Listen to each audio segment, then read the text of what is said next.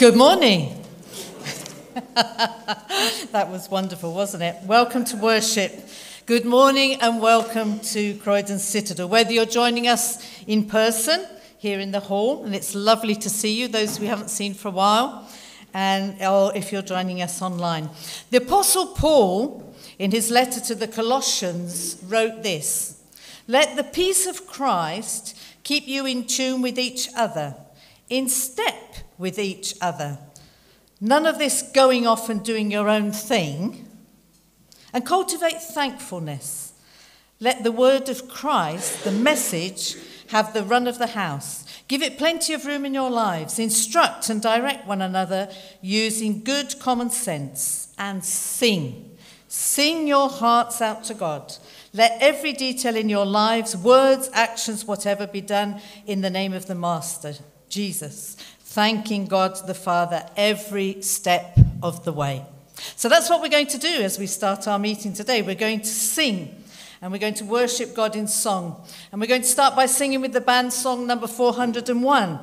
We want to see Jesus lifted high, a banner that flies across the land, that all men might see the truth and know that He is the way to heaven. I'm going to invite you to stand. The band are going to help us and we're going to sing together. Thank you, band. Please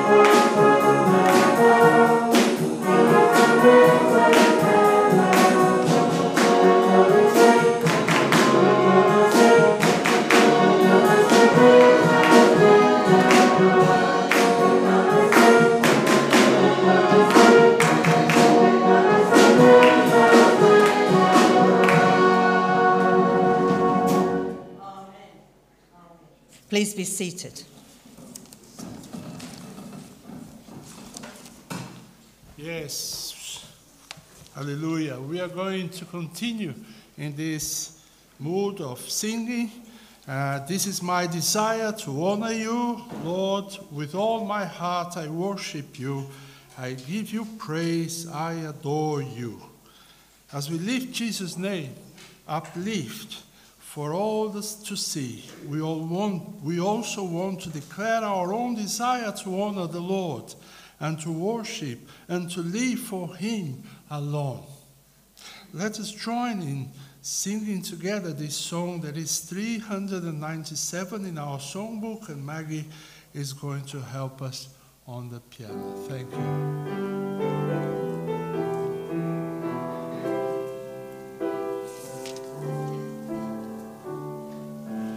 This is my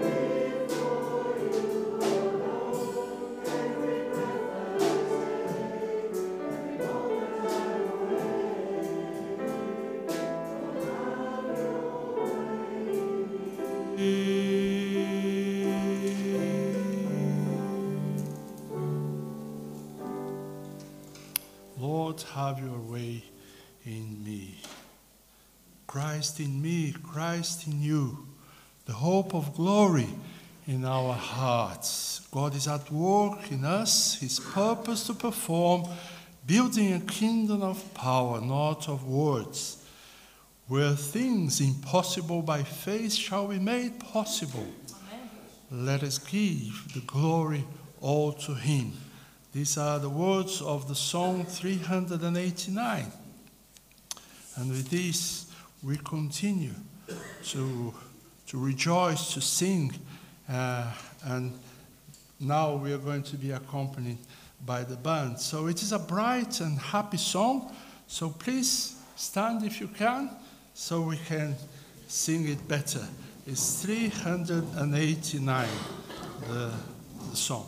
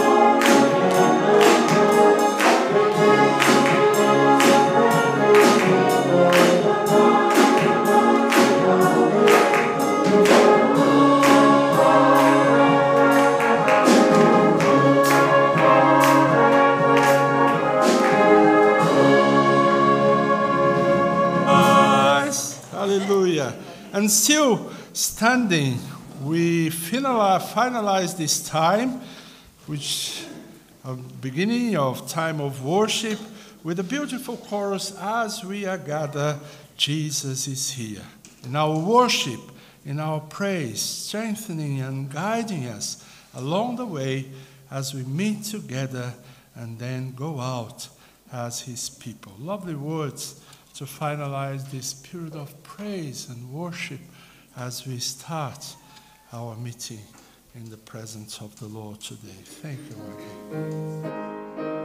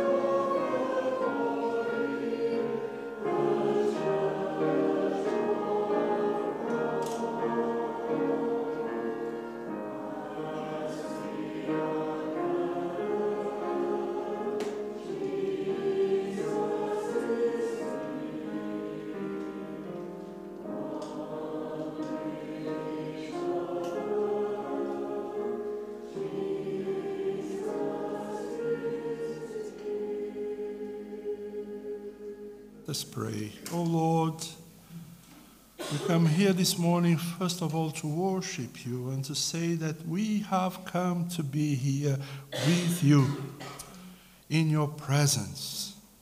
You are a holy God, and we need you in our lives, in our families, in our day to day. Give us, Lord, once more all that you know we need for today, because you have all we need. Many things have happened since the last time we were here together, and we are aware of the things we have done wrong since we last met. Forgive us for our, our wrongdoings, things that we said that may, maybe we shouldn't have done, difficulties in our relationships, and help us to forgive what others have done against us also. There are so many things going on in our lives, and we confess our inability to deal with them by ourselves without falling short of doing the right thing. So we want to be faithful to you and obedient to your will for us. We want to honor you in all we do. So bless us, Lord, during this time we are together in your house. May your Holy Spirit have freedom to reach out to each one of us, making us stronger in our faith making us stronger so that we do not fall into temptation, making us stronger to live a life that glorifies your name and that bind us together so that we can move forward as your people in your mission. In Jesus' name we pray. Amen. Amen. Please be seated. We are now going to listen to the message of the songsters. We're always pleased to have the songsters with us, and they are going to sing a very appropriate song for us today, this morning. A lovely song, one mission, one message. And then Ben is going to come and bring us the Bible reading for this morning. Thank you, songsters, for your ministry this morning.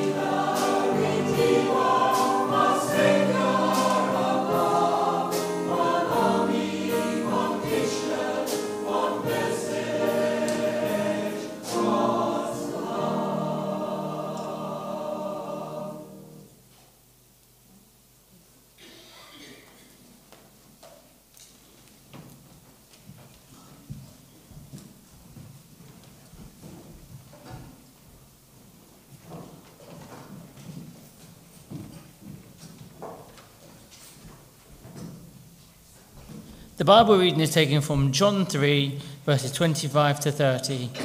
The bridegroom's friend. After this conversation, Jesus went on with his disciples into the Judean countryside and relaxed with them there. He was also baptizing. At the same time, John was baptizing over at Aenon near Salim, where water was abundant.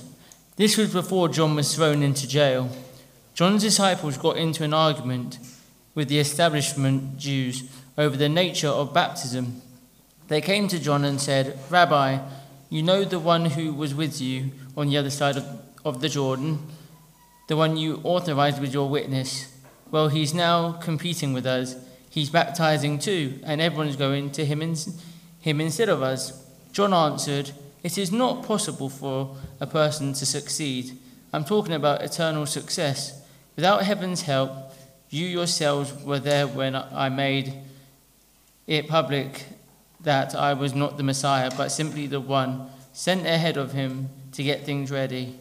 The one who gets the bride is, by definition, the bridegroom, and the bridegroom's friend, his best man, that's me, in place at his side where he can hear every word, is genuinely happy.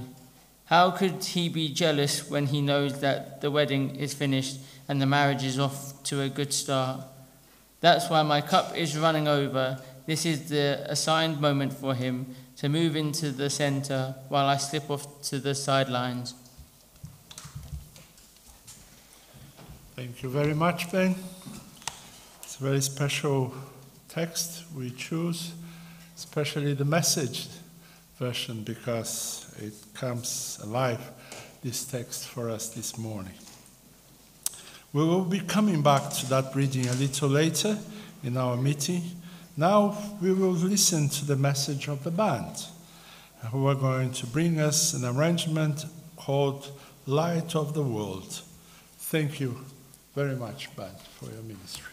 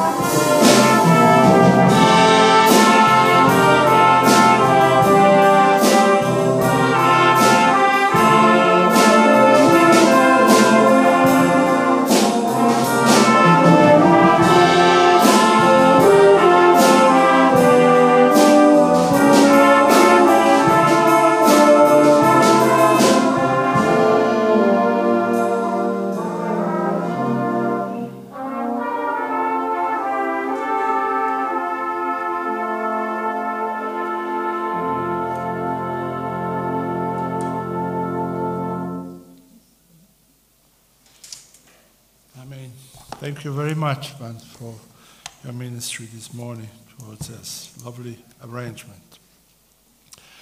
We will now receive your offering as we listen to the music played kindly Ma- by Mag on the piano, and then Nigel will come and pray with us. Thank you for your offering.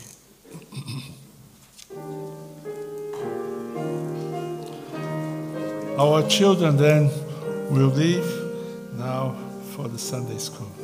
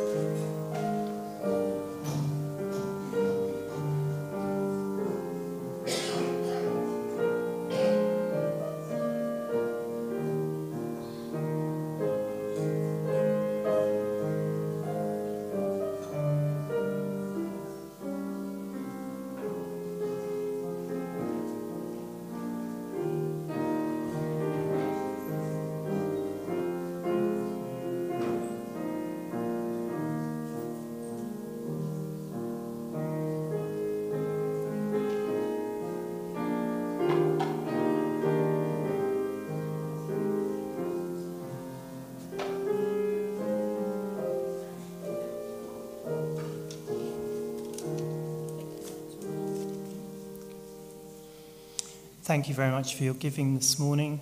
Um, just a couple of verses from Ephesians chapter 5.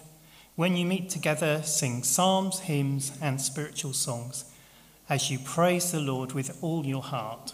Always use the name of our Lord Jesus Christ to thank God the Father for everything. Let us pray. Father God, we come to you. We thank you because you do give us so much. We thank you that from what you have given us, we can give back to you what is rightfully yours. And we pray, Lord, that the people that have given this morning and in many other ways during other times, that you will bless them. Um, and we pray, Lord, for the people that will receive. There are so many needs in this community. And we pray, Lord, for those that help meet those needs here in the community centre here. And we pray for those that receive that they will also receive something of you. We ask this in and through your precious name. Amen. Amen. Thank you, Nigel. Before we listen to the message this morning, we are going to sing together another song, song number 349. A beautiful song written by General Albert Orsborn that invites us once again to join together in thanking and praising God and reminds us that all of us are to be involved in God's mission as part of His church. Here we have the words.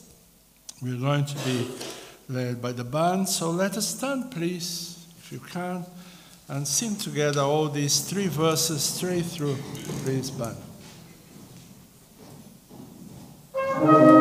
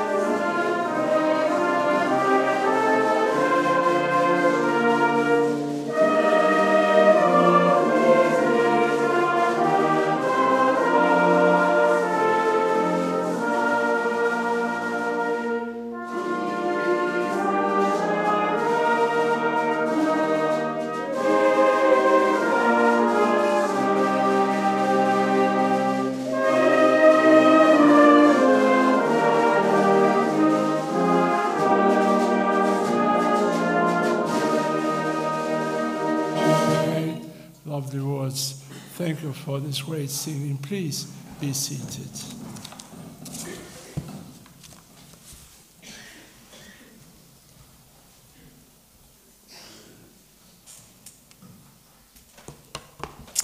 Thank you. That was beautiful, wasn't it? Lovely song. Thank you to the band and the songsters for your ministry today that have blessed us.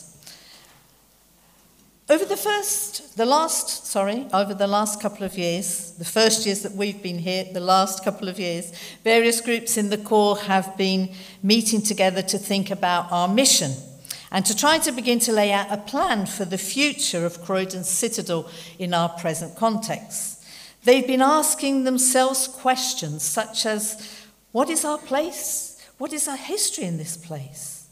What is the present reality? Are we in the right location? What impact do we have on this community? Who do we want to reach out to? What do people know about us? Etc., etc. All very valued questions that have helped our reflection, and we have seen God's hand guiding us throughout this process. And this has been a journey with a variety of people over a period of time. But one phrase just kept cropping up. Things have changed. Things have changed. People have changed. The corps has changed. The sections have changed. The Home League has changed. The area around the corps has changed. The High Street has changed. Croydon has changed. It's all change. And in our thinking and conversations about all of this, there's been a constant nagging question at the back of our minds. How can Croydon Salvation Army continue to be relevant in our community now? We have a wonderful history. We've been here for over 150 years, folks, and we've celebrated that, both in the 150th anniversary celebrations, which unfortunately we did not have the pleasure of being part of, but as well as in subsequent years at various corps anniversary weekends. The Salvation Army in the UK and Ireland has also set out some very clear points for us. We have our vision statement fullness of life for all in Jesus. We have our focus areas of mission sharing the good news, serving others, nurturing disciples of Jesus, caring for creation, and seeking justice and reconciliation. And we have our motto love God, love others, it comes on all our emails. It's all great stuff, and it's all what we want to do. So we have these things to guide and to help us. But the fact is, we still need to find a way of being relevant in an ever changing multicultural community. Isn't that right? That's what we want, isn't it? It's a big task. it's a big task trying to bring all these things together. And you may just be sat there thinking, well, what's that got to do with me? That's the officer's problem. I'm not the leader of the corps. I just come on Sunday and sit here and take it all in. Well, I would say to you that if we are going to be a church that is relevant in this community, we need everybody in. We need to all be in it, all together. Everyone needs to be part of it. Wherever you live, whatever your background, whatever your culture, whatever your age, everyone needs to move forward together. That's our word. We have it here always. Together. Together. We need to go and move together.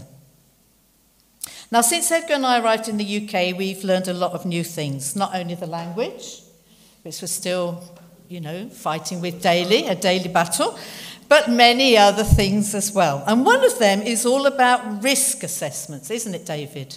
It's all about risk assessment. There's risk assessments for everything. Now, it's not that in Latin America we don't do risk assessments, we do, but they're very um, fluid. Let's put it that way. There's a common agreement and understanding that's in place, and everybody knows what it is, but it's not written down on a piece of paper with a hundred signatures. Let's put it that way. So when we write out our risk assessments, and thanks to David and to Sajata that keep us on the straight and narrow about this all the time, we try to bring to mind all that we need to be aware of, all that can go wrong, all that can cause us not to reach our goal. So, we're going to take a few moments to think about some of the things that we may need to be aware of and keep in mind when we're thinking about being a church that is relevant in this community now. First of all, in the urge to be relevant, we need to be reminded that there are some pitfalls along the way. Other churches seem to have fallen into some of those. Look at the churches, for example, mentioned in the book of Revelation. The church in Ephesus, for example. This was a doctrinally solid and active church, but they'd lost their first love, their original fervour, and become cold. They had allowed their service to God to become mechanical, like a, a, ritual. They'd lost their focus of the first basic commandment to love God with all their heart. And when a church stops loving God with all their heart, He is no longer the focus. So the mission is lost. Even if everything is functioning exceedingly well, like clockwork, from the human point of view. Then there's the church in Sardis. The great thing about this church was that it had had a great reputation, but it no longer lived up to it. It was resting on its past glories.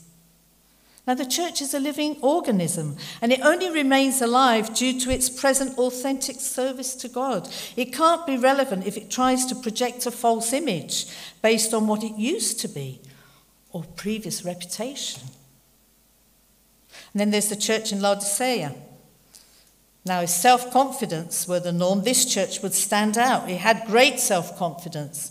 It was practically self sufficient, so much so that it had left the Lord Himself outside knocking on the door, asking to get back into His own church. Arrogance, prosperity, and self confidence frequently produce Christians that put their trust in human capacity rather than in divine intervention. And at the end of his comment about all the churches that John had seen in his vision come some important words. And it says, If you have ears, then listen to what the Spirit says to the churches. Each one of these churches was relevant to a certain extent in their context, but they were all warned about the pitfalls they had fallen into. And so to each church, there was a, the challenge of accepting the need to change what had to be changed so that they could continue to be relevant in their various contexts. There's another thing that can happen. As humans, sometimes we do get carried away, some more than others. In the search for relevance, in our present times, we can be tempted to let our human feelings take over.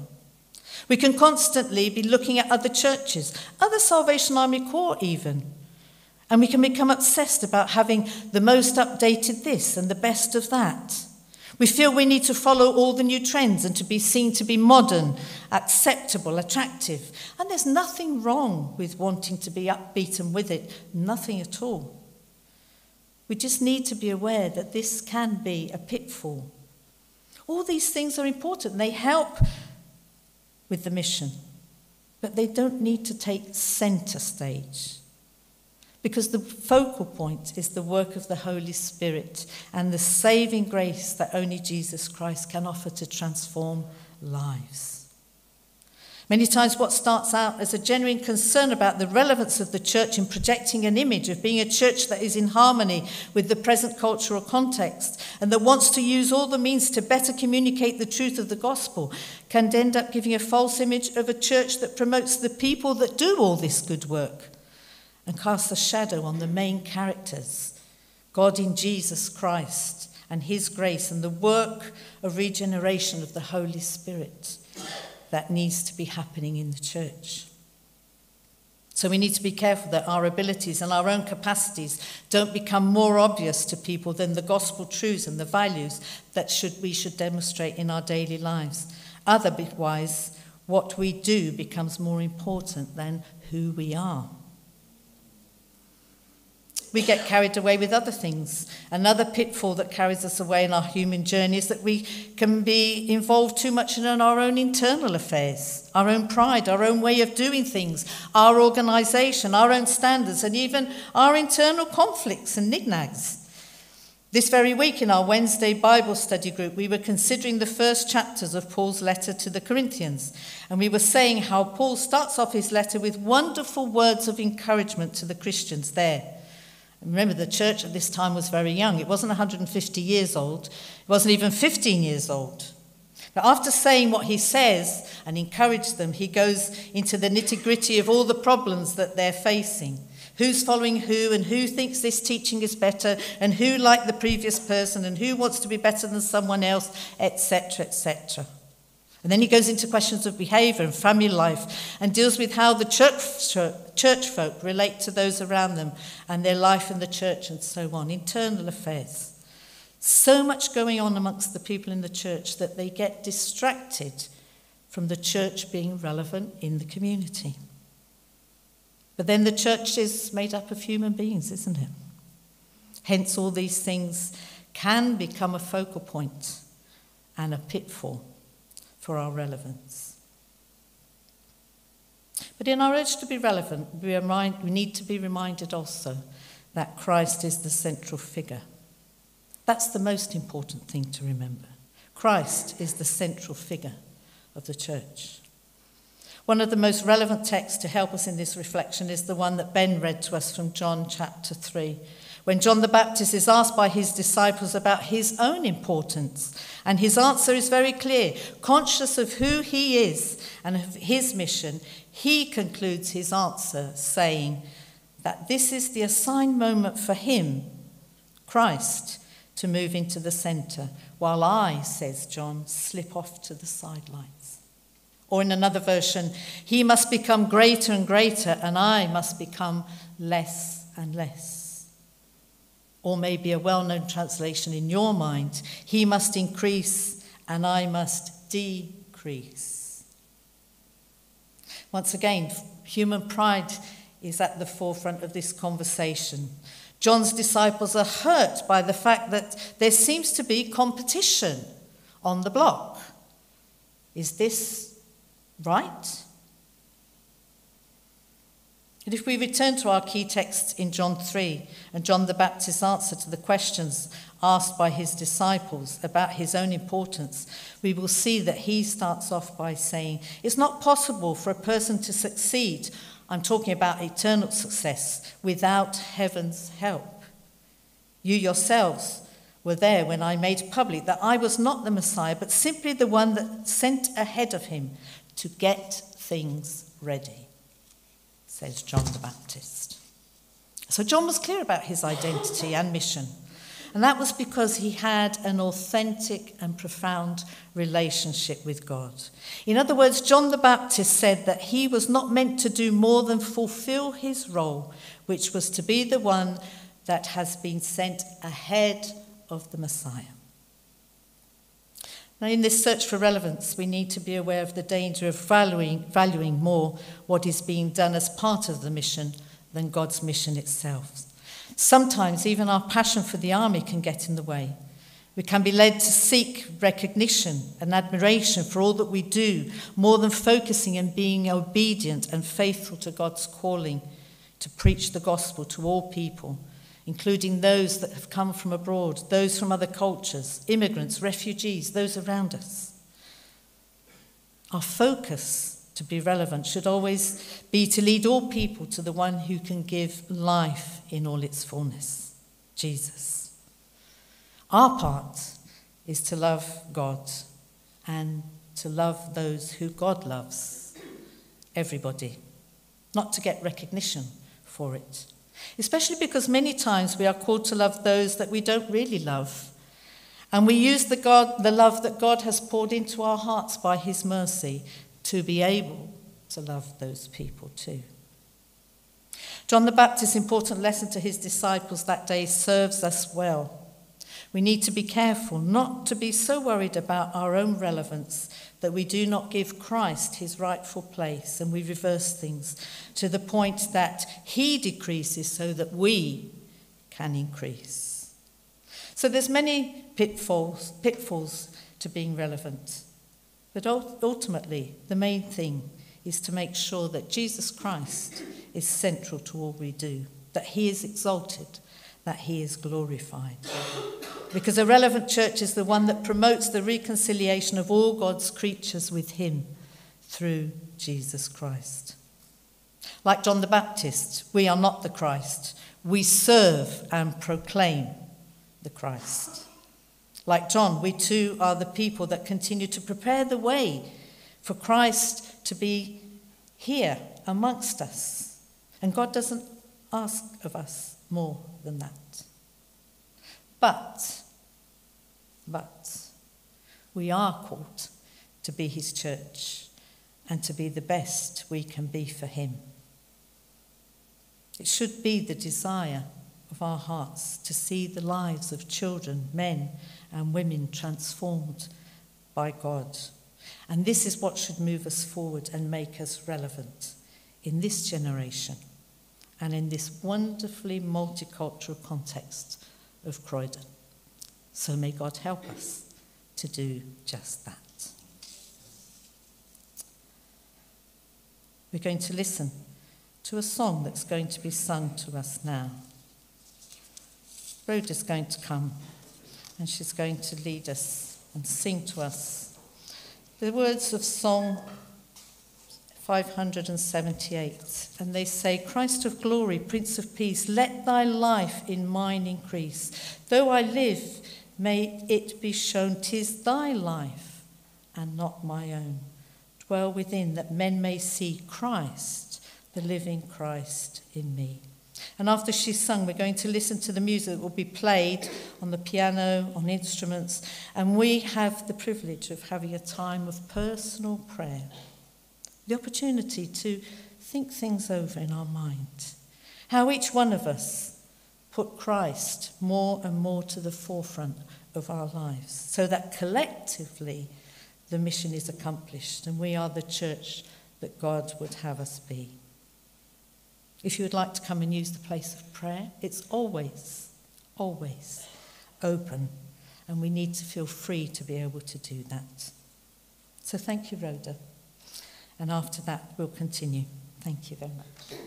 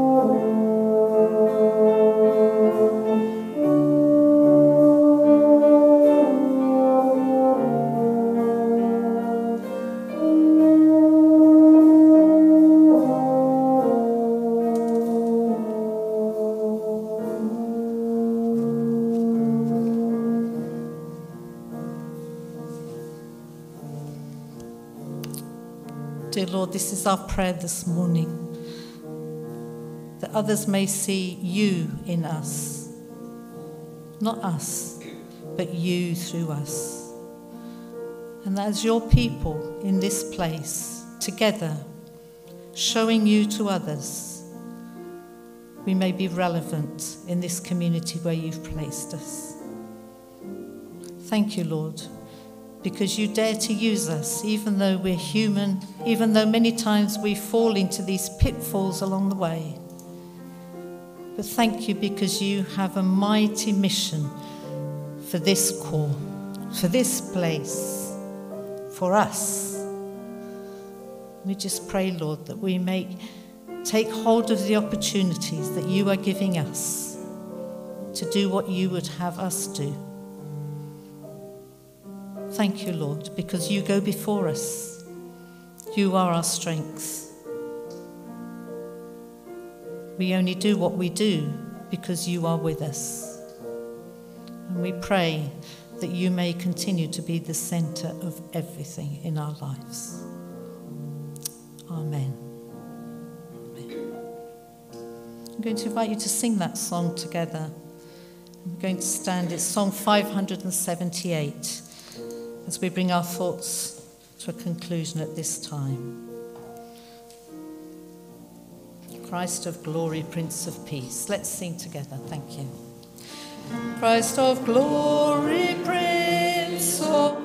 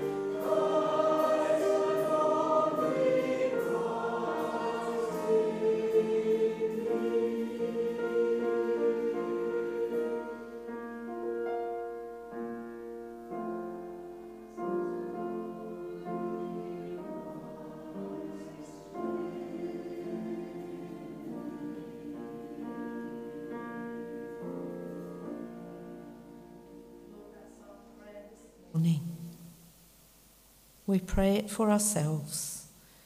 We pray it for our church. Amen. Amen. Amen. Please be seated. Thank you, Now, we do have a few announcements today, and we hope you've received this week's bulletin.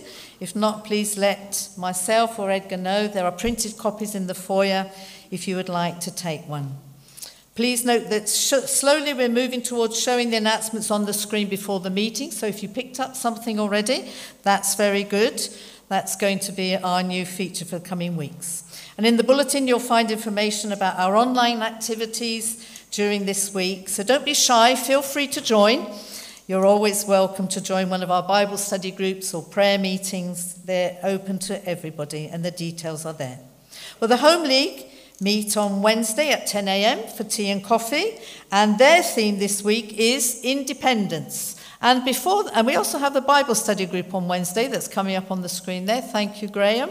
That will be at 12. That's our new Bible study group. You're welcome to come and join. And we have the Home League with their theme Independence. That's all on Wednesday. Then on Friday, we have the Men's Fellowship. Um, they're also meeting. They have a monthly um, event, and all men are invited to attend.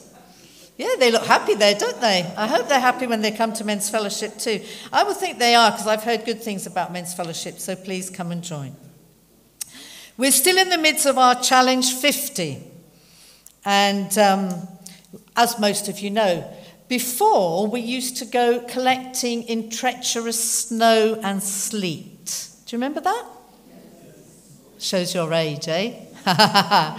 yes. We did. Edgar and I went collecting in Liverpool Middlesbrough. and Middlesbrough. Oh, it was freezing. Wonderful. Snow this much. So everybody used to say, Isn't this ridiculous? Why don't we collect at another time of the year? Why are we doing this in the middle of the snow? Why? Da, da, da, da, da. And it, all that snow and all that collecting and all those door to doors and all those dogs that used to chase us and all those things that you remember as you open the gate and etc etc many years ago um, at the end we used to bring it all in and then bring our own offering and, and etc so now that's all changed in february we do still bring our offering but we don't so much now go door to door because most people don't want junk, as they call it, through their door, do they? In fact, there's signs outside saying no junk mail, please. So envelopes through doors don't really work too much nowadays. So we need to find alternatives to that. And that is why we have our collecting on the high street and we have our challenge 50 to help us to work with our community to see what funds we can raise. That's how important it is. Um, we're aware that the situation in our town centre has also changed a lot. And we can't do door to door collecting, so we need to find other methods. So I hope you're able to participate. The Parkers have certainly done their bit, they've held their afternoon teas in their neighbourhood. Others are doing their part. Stuart, there you are, Stuart. Stuart Fincham has apple and blackberry crumble available. Yes, and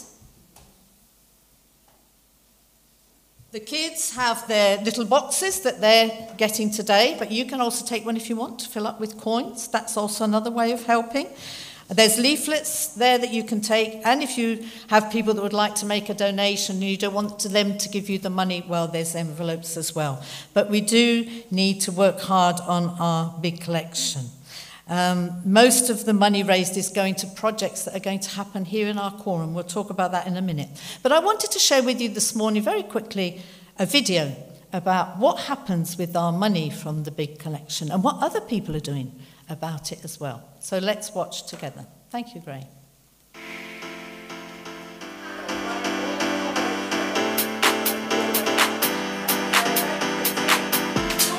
Something different is going on at Norwich Citadel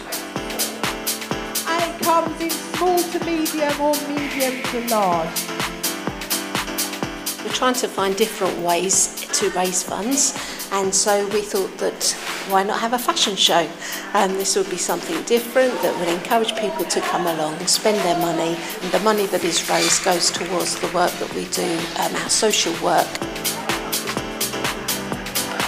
Norwich Citadel has been raising funds for the Salvation Army's big collection for many years, but this year there's a new focus on connection.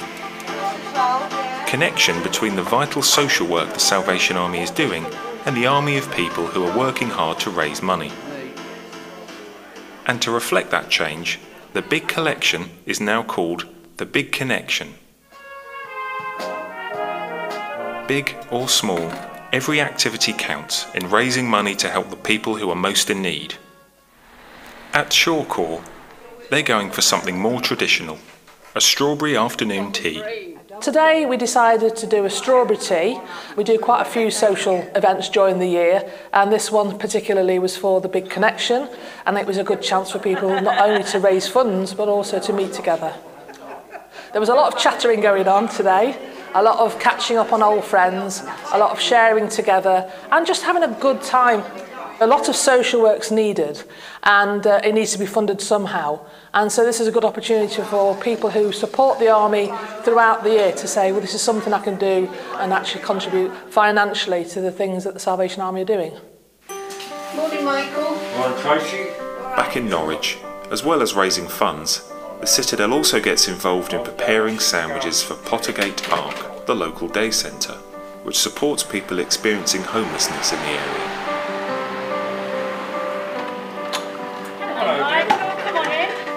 We are a day centre and we work primarily with people experiencing homelessness and that can range from people sleeping on the streets up until temporary accommodation until they get a secure tenancy. We meet a lot of basic needs for people, which is feeding, clothing, we have washing facilities, we have support with our charity shop from down the road. I like the guys that come in here. I've got a lot of passion for working with them. They're a very misunderstood group of people, and if you get to know them, they're wonderful. They've got wonderful stories to tell. If someone's in a difficult position, you know, if they just come in here and have a chat, have a sit down, you know, there's always something they can do. Like keep in touch with I think as a man, it's hard to ask for help. There's the pride thing, and sometimes you've got to just swallow that down, suck it up, and say, I need help. People are here, or they'll point you in the direction to get the help you want. It would be lovely to see some of the guys from the church come here and see what they're fundraising and what they support um, as it happens into action because they are saving saving lives. We save people's lives here.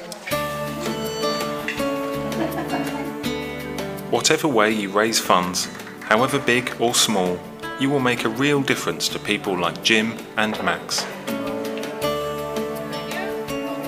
All of the money that is raised for the Big Connection helps the Salvation Army in its social work. So that might be in their life houses, in residential centres, in their centres where people have addictions and they're trying to help them, or at a local corps level where they're doing something within the community. It's all a case of integrating everything together. But we need to have it today as well, where we're not just um, you know isolated. We have to be involved in the community. Fantastic. So the money we raise is going to go to Employment Plus and anti-human trafficking because those two social programs function here in our own place. And if you want to check it out, did you see the lady said, oh, I wish the corps folk would come and see. Well, corps folk, if you want to come and see, this Thursday, we've got the Employability and Community Fair happening from Employment Plus here on Thursday. You're invited to come, come and check it out, see what they do, see if it's worthwhile. But please continue to raise our funds so that we can um, help these different Salvation Army projects. It's so important. So if you haven't taken on your challenge yet, think about it. We've got another two weeks to go. We finish on the 29th. If you need a sheet to sponsor because you're going to um, jump off the top of the the hall, or if you're going to run, or if you're going to whatever you're going to do, please see me. We've got sponsorship forms, everything that you need to make sure that we're able to participate. Or just take a box if that's something you can do. Anyway, back today to today, we'll have tea and coffee and chat in the community hall after this meeting. Please join us if you can. The flowers today given by Alex in celebration of her birthday. Thank you, Alex so much. Thank you, thank you. There will be an open air, and we invite you to join us. Please, if you can and are able to be at the open air, that would be excellent to have you with us. And the youngsters meet tonight, 6 pm, at my house. You're all invited to be there if you're a youngster. Um, six o'clock, and we're meeting in the garden to make the most of the last of the summer sun. You thought I was going to say the summer wine. No, it's the summer sun, the last of the summer sun, we're hopefully today. And now, as we leave this place, I invite you to stand and we're going to sing together our benediction today. Give to Jesus glory, give to Jesus glory, proclaim redemption's wondrous plan, and give to Jesus glory. That's our objective that He may increase, that He be in control of all that we do. So let's sing our benediction together. Give to Jesus glory. We're going to sing it twice because it's so short, it will go quickly. So we'll sing it twice, please, band. Thank you very much.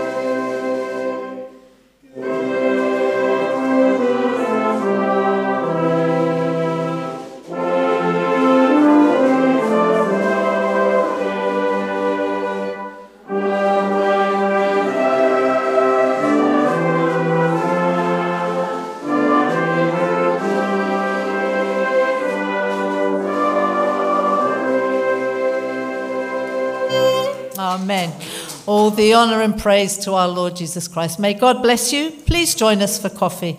It's lovely to be with you this morning.